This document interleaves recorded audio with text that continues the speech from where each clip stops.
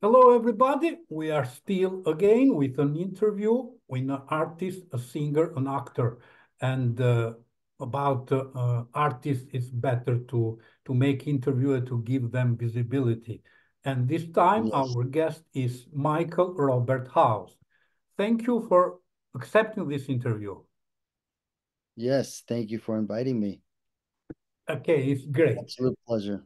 In, in, in the meantime, I would like to everybody who will see the interview to make an introduction of who you are, where you come from, and where you are performing now. Well, right now I live in Fulton, California. I have lived in Europe for a very long time. Um, my artistic history uh, comes from making music. I toured for been about 27 years on the road. So I made music. years on the road. Good. Yeah, it's it's been pretty long, and I toured all over Europe with my bands. Uh, my biggest band was Pipes and Pints. It was a melodic punk rock with bagpipes, the mm-hmm. Scottish bagpipes. I see. And uh, it was amazing. Yeah, and uh, I came back to the U.S. in end of 2016. Mm-hmm. And uh, I started making music again. What kind of music do you make? Now, rock? it's still rock and roll. Mm-hmm. But uh, I kind of stepped away because of uh, COVID. So, because COVID slowed everything down. Mm-hmm. And then I started going to acting school at mm-hmm. Michel Danas in uh, Santa Monica. It's up by Los Angeles. And I started like doing small acting shows and gigs as an extra. And then I stepped up and I went to television. Mm-hmm. Uh, then I got my agent to work with me. And uh, now I'm doing my first feature film. You are doing so, your first. May you tell us something yeah. more about that? Yeah, the the movie's called Sley House. Mm-hmm and it's uh, done by Kelly Dachtla. He's a producer, writer, mm-hmm. and uh, it's it's very interesting to work with him because his ideas come from from different kind of horror movies. Mm-hmm. You know, if if you ever seen The Shining or uh, Rosemary's Baby, yeah, things like that, a mix of Halloween and Jason. Um, yeah, it's very interesting. He's got very good ideas, and he's he's a great director to work with. So, okay. so you most of uh, let's say your experience is on the street. Is that difficult to be an artist on the street? Are you everywhere and every time respected as you wanted to be? When I started out, I was I was just a street street punk, you know? Mm-hmm. So I started playing small shows just for fun with friends and everything. And then I kind of developed uh, a very big interest because the recognition of the fans was very, very good. And I wanted to be a professional. Yeah. So uh, the people I had to play with had to be just like me. That was very important to me, and I found those, and, and we're still friends to this day. And uh, we got very far. I mean, we we toured half around the world, you know, and uh, when you make music, it's it's like a dysfunctional family, if that makes sense. Yeah. It's it's you have to uh, communicate. You have to uh, be a team, make it work. You know, even when it's hard. Um, but yeah, it was uh, absolutely fascinating. You know, and uh, seeing all the other countries and the cities and meeting the people and making the music that you do and and yeah. and recognizing how people react to your performance I think that's the biggest thing you can achieve. Yeah. Being a singer, you must be an actor because even singing is not uh, singing without interpreting something, without uh, following your word, your music with your interpreting. Is that right? That's right. Yeah. Yes, singing is is is a way of expressing a story because it's a uh, you're writing poetry, but you're performing it at the same time. Yeah, That's sure. very true. Yeah, very correct. But and, uh, uh, you you you sing your song, so you are a cantautor or you are a singer, and uh, so tell us no. more about your art, your way of communicating by music. Yes, it's it's a communication thing for me, and I was always a, a singer and a frontman and uh, a writer. Uh, mm-hmm. I love poetry, so but all the experiences I had from life or the uh, the places I've seen or the the life experiences I've had, I expressed through poetry and rewrote it in my own wording. Yeah. And then I performed it and sang it. And I was mm-hmm. very successful with it, yeah. Good, because being a cantautor gives you more more way of interpreting yourself. Yeah. When you yeah. sing a song, when you say the words, you say your life or the other life? How do you feel with that? Sometimes it's my own life, and sometimes it's uh, expressing it through the eyes of another person. Yeah. But making them understand at the same time it could happen to anyone. Mm-hmm. Yeah. Good. I think so that's the best way to explain you, it. You would feel, would feel better in Europe or in US? So an artist like you have more the, the, the uh, right question have more possibility in Europe or in US? Interesting to question. Be a, to be a singer of success. Yeah, yeah, yeah. Um, um, hmm. I like both. Both.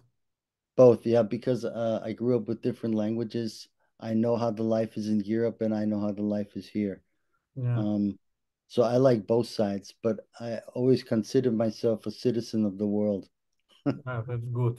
You have yeah. the possibility to be, because yeah. in, in the world is not a simple way. But yeah. particular experience in Europe to some specific countries, maybe in Rome, maybe in Brussels, maybe in Berlin. So some specific, let's say, experience that you remember time to time? Oh, I, I think the when you go from city to city and country to country, the cultures are are very interesting and different. Sure. And uh, I would say that uh, when you go to like Rome, Italian festivals, people are very eager and open minded to see you. Yeah.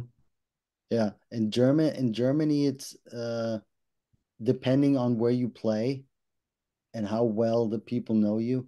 It mm. takes them a little bit of time to to open up. Yeah, I see. Uh, they're a little bit uh, so harder the, to. The Italian through. are more musical people than German. Yes, yeah, the, yeah as, as, well as the French and uh, Eastern countries. Yeah, yeah, I've noticed that. Where Austria have you been to Eastern countries? Which one is the best one? The best one. Hmm. Hungary, Budapest, or Prague? Hungary, Czech Republic, Slovakia. Slovakia also. Yeah, and and I have to say Russia. I toured in Russia twice. Mm -hmm. Uh, very wild. Why so Russia? Tell us, because we know in Russia is less democracy, but maybe they, more money. I think it's I think it's because of the drinking. Ah, they drink a lot. they drink a lot of vodka, you know. Yeah, yeah. So they, they they get louder and they they they like to when they party, they party really quick and fast and loud. do you do you know to write a Russian song? Uh no. No. That would be interesting though to to translate one of one of the songs that I have into so have you have you tried to to sing uh, some uh, let's say country song where you are in Rome, an Italian one, when you are in Budapest, an Hungarian one, or just in English? No, so it's interesting that you're asking me that. So the first time I actually translated a song was last year, um, but we did it to Spanish hmm. because the drummer that I work with, he's uh, from Costa Rica, Alajuela, and uh, we did a song called Pirates in the Sea. We are all just pirates of the sea, and uh, the Spanish version uh, mm-hmm. was Toro Toro Passato. I can't remember so, the so words. I, I was not asking to translate the thing. The no, song, no, no, but I was you trying know, to. You know, some music is international, it's transnational. So yes. they, they, they communicate to every language.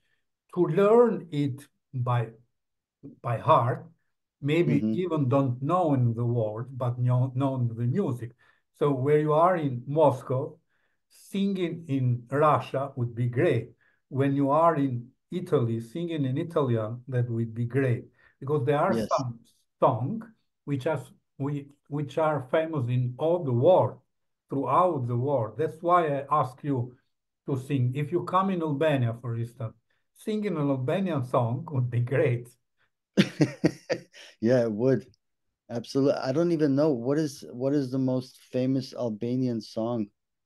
So there are they... there are a lot of them. We have a festival, we have a lot of competition because we live in five different states, and uh -huh. uh, so there are a lot of them who are. But which which which band or artist is the biggest one? So the last one, festival 62 Festival of uh, Radio Television, I followed mm -hmm. an artist and cantautor, an Arbëresh one, which is when you say Arbëresh Italian and Albanian too. And uh, he has a very traditional song. Mm -hmm. It's called uh, Santino De Bartolo. It's well-known singer. Santino Baltaro. De Bartolo. De Bartolo. De Bartolo. Interesting. cantautor. And is it is it country music or or so it's rock? more or less country music because it is traditional. Now you you know they are modern way, but I like the traditional one, country music. Me personally. Yeah, yeah. Yeah, anyway. for me, I, I like to listen to everything. So yeah, I'm right. all over the place with music, you, and I think that's important. You are a, a singer. I, I, am a consumer of songs, not a singer. So. yeah. so tell us about yourself some more. So who is following you to know you are born in U.S., where you are born, your family, in a very telegraphic way. Yeah. I don't um, to get into the private things, just a, a portrait, let's say. Yeah, yeah. So I was born in Columbus, Georgia, mm-hmm. and uh, I was born in, into a military family. So my mother's Austrian. She married an American. Uh, they lived in Italy because mm-hmm. military people they they get uh, transferred every two years to another country or another base. So we traveled a lot, mm-hmm. and uh, the longest I lived was uh, uh, we went from Georgia to Italy, then to Germany, uh, then to Indianapolis, which was the mm-hmm. U.S., and uh, then we came to California. Um, my parents got divorced, and I was always in between my mother and my grandparents. So that was Austria and the U.S. Always a back and forth. You, you yeah. speak uh, Austrian language, which is German. I do, yeah. Ich spreche Great. auch sehr gut Deutsch. Great. But Italian? No. Nein. Ciao. Va bene. Va bene, va bene. Yeah. Ti capisco comunque. okay. So, which is your, let's speak uh, the last question. Do you have any concert to do in soon?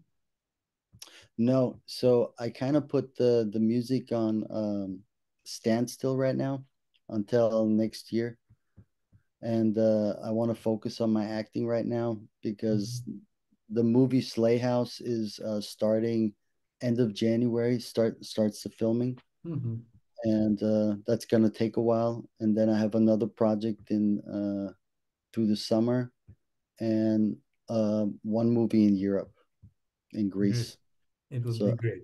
Anyway, it yeah. was a pleasure to know, let's say, an artist, a very particular artist, and we will follow when the film will come up. It would be great to make another interview telling to people how was that experience in acting. Yes, absolutely. Okay. Maybe next time in person. ah, why not? If you come in Europe, it would be great. Or if I come in US. Yes. Okay, guys. Thank you very much. And uh, I know it's time to go to bed now for you, and it's yeah. time to go to work for me. So this yeah. is the word. Best wishes to you. Yeah, thank you very much. We me. say in Italy, in bocca lupo. Bocca lupo. In bocca lupo. Okay, bocca lupo. great. See you again. Thank you, everybody, yes. and be in touch with us.